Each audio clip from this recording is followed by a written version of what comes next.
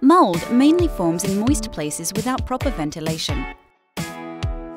Mold is very unhealthy, so it's important that the space is well ventilated.